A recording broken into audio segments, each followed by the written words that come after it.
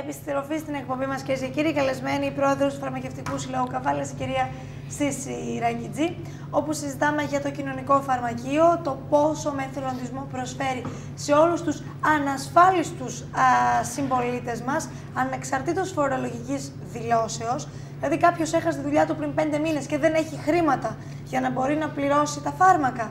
Εφόσον απευθυνθεί στο κοινωνικό φαρμακείο και τον παραπέμψουν σε συγκεκριμένους γιατρούς, μπορεί να έχει δωρεάν ουσιαστικά την ιατροφαρμακευτική του περίθαλψη. Εντός εισαγωγικών φυσικά η φράση και η λέξη.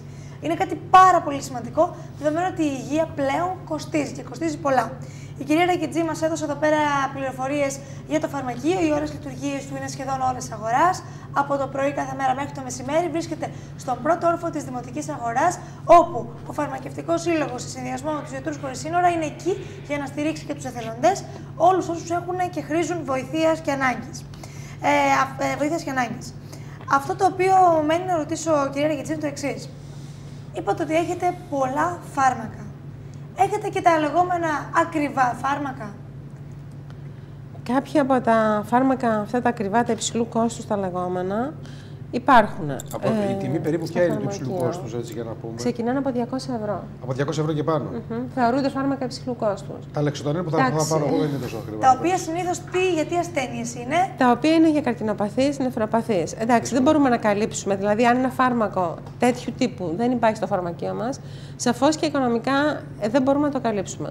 Θα βρούμε κάποιον άλλον τρόπο ή μέσω του φαρμακείου του ΕΟΠΗ.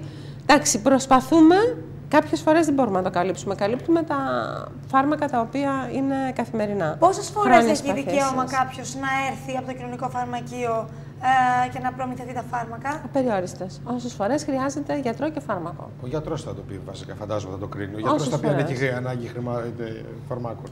Κάποιος γιατρός το λέει. Ναι, ή είναι χρόνιες παθήσεις, τις οποίες υπάρχει γιατρός κάθε απόγευμα στο φαρμακείο που συνταγογραφεί τι επαναληπτικές χρόνιε παθήσει. Δεν μπορεί κάποιος να λάβει χαρτί από έναν γιατρό από τον ιδιωτικό τομέα ε, και να έρθει με την συνταγή για να λάβει φάρμακο. Μπορεί και εκτός από τους γιατρούς που υπάρχουν ε, και βοηθούν στο, και στέκονται δίπλα στο κοινωνικό φαρμακείο, μπορεί και με οποιοδήποτε γιατρό. Απλά λέω το τυπικό τον έλεγχο, γιατί έχουμε ακούσει ότι πολλοί ασθενείς κατά βάση ηλικιωμένοι πηγαίνουν στο γιατρό του λέγανε γράψαμε και εκείνο το σιροπάκι το βήχα, γράψαμε και εκείνο το ντεπονάκι για να έχω ένα καβάτσα στο ράφι.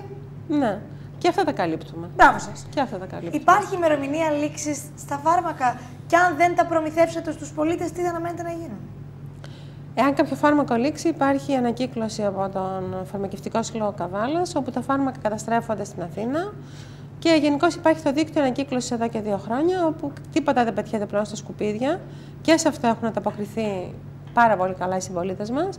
Και τελικά δεν καταλήγουν φάρμακα στα σκουπίδια, τα οποία είναι δοξικά για τα, για τα εδάφη, για τα νερά και γενικότερα για το περιβάλλον. Καταστρέφονται εκεί που πρέπει πλέον και έτσι έχουμε σώσει κατά ένα ποσοστό, έτσι. Υπάρχει κάποιο τηλέφωνο στο οποίο μπορεί κάποιος από τους τηλεθεατές που ενδιαφέρεται να επικοινωνήσει προκειμένου να πάρει περισσότερες λεπτομέρειες, αν δεν καλύφθηκε από τη συζήτησή μας; Βέβαια.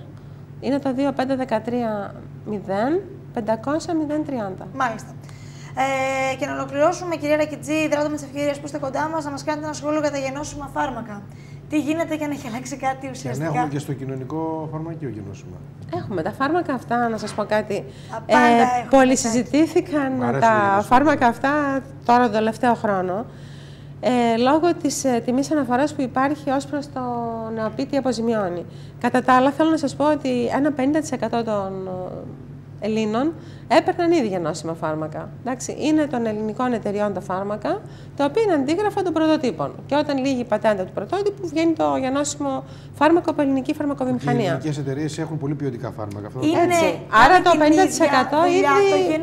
Ακριβώς την ίδια, ναι. Είναι ακριβώς το ίδιο φάρμακο. Άρα ουσιαστικά το ένα έχει το brand name που λέμε που πουλά και το άλλο είναι κάτι ως Ημιτασιόν ή δεύτερο. Έτσι, αλλά ναι. όχι δεύτερης διαλογής. Όχι, όχι δεύτερης ποιότητας. Όχι, όχι. Είναι εξαιρετικά ε, ασφαλές, είναι ακριβώς ίδιο με το πρωτότυπο, απλά είναι φτηνότερο και αυτά φυσικά αυτή τη στιγμή αποζημιώνει η ΕΟΠΗ και δεν αποζημιώνει τα πρωτότυπα φάρμακα για λόγους οικονομίας. Και γενώσιμα Ινδίας, υπάρχουν κάτι γενώσιμα από τρίτες χώρες, που εμείς δεν έχουμε εδώ από όσο γνωρίζω, δεν ξέρω αν κάνω Δεν λάθος, έχουμε και Που μετά- εκεί είναι λίγο περίεργα τα πράγματα.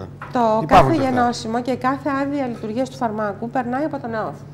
Όταν υπάρχει πιστοποίηση ΕΟΦ, Καταλληλότητας δηλαδή. ναι, δεν υπάρχει κανείς που να εμπλέκεται Καλά. στην ασφάλειά Να του. θυμίσω, Είτε είναι στην Ινδία είτε όχι. να συμπληρω- θυμίσω ότι τα συμπληρώματα διατροφής της εταιρείας τότε της Μπάλκο, που μας δίνανε τα συμπληρώματα διατροφής, ξέρετε, πρωτενε και αυτά, είχαν και πάνω και αυτά χαρτάκια από τον ΕΟΦ.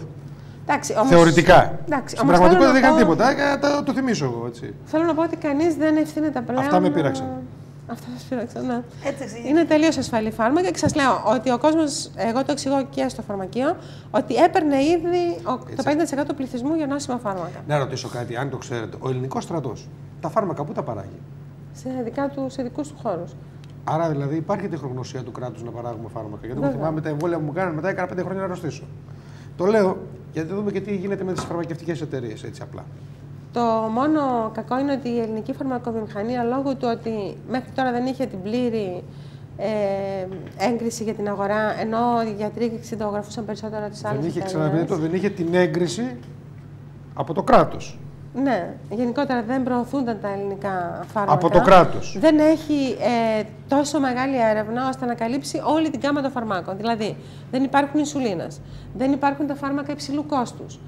Αυτά τα οποία είναι πρωτότυπα ακόμα. Που θα μπορούσαν να υπάρχουν πολύ εύκολα. Θα μπορούσαν, αν είχε προχωρήσει στην έρευνα και στο χημείο της, η ελληνική φαρμακοβιομηχανία. Σε αυτό το που κομμάτι. δεν την άφηνε το ακόμα- ελληνικό κράτος να προχωρήσει. Εντάξει, Πείτε το. συμφωνώ. Οπότε αυτά τα φάρμακα ακόμα ε, αντικαθίστανται από τα πρωτότυπά τους. Μάλιστα. Και φυσικά υπάρχουν οι είναι και ελλείψεις, πολύ τι οποίες ακούτε. υψηλού κόστους, όπως Και τα φάρμα... οι ελλείψεις οφείλονται αποκλειστικά και μόνο. ότι Στην Ελλάδα τα φάρμακα είναι πολύ φτηνότερα, Τα έκανε εξαγωγή. στο εξωτερικό είναι πολύ ακριβότερα εξαγωγή. και κάνουν εξαγωγή με αποτέλεσμα να στερείται ο ελληνικό Ενώ αν τα παρήγαγε στα Δυστυχώς. εργαστήριά του ελληνικό στρατός, Έτσι δεν θα είχαμε πρόβλημα. δεν θα είχαμε πρόβλημα. Γιατί πάνω απ' όλα πρέπει να λύσουμε το Είτε πρόβλημα μα στην- εμείς και ύστερα όλοι οι υπόλοιποι. Ναι, γι' αυτό και εγώ ψάχνω να βρω Ευχαριστώ γενώσιμα πολύ την λιγμένα να παίρνω. κυρία Ρακιτζή, ευχαριστώ πάρα πολύ τον κύριο Κολυβά. Κυρίες και κύριοι, αμέσως τώρα δελτίο ειδήσεων με τον Γιάννη Κομινό. Μείνετε στο Σέντερ.